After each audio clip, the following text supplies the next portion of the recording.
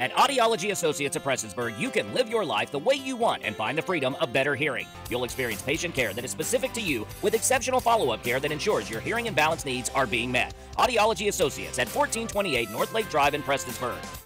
Tyrone Davis, a man previously on the run from police after fleeing from police on motorcycle, has been arrested. He was uh, charged with fleeing and evading from police officers uh, due to an incident that happened a couple weeks ago uh, fled on a motorcycle with a female passenger on the back. Uh, a couple officers tried to stop him, uh, initiate their emergency equipment. He failed to yield to that, uh, kept on going. They discontinued the pursuit due to the traffic flow of the roadway and also his safety and the passenger's safety, which is our policy. After evading police for over a week, Davis made the decision to turn himself in on the morning of June 14th. Well, it just saves a lot of a lot of aggravation. Um, also, his safety, officer safety, uh, basically uh, cooperation.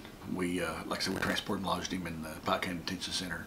Uh, instead of having to look over your back all the time, I think he was just tired of doing that. Tyrone Davis is currently lodged in the Pike County Detention Center and is charged with fleeing and evading police in the second degree.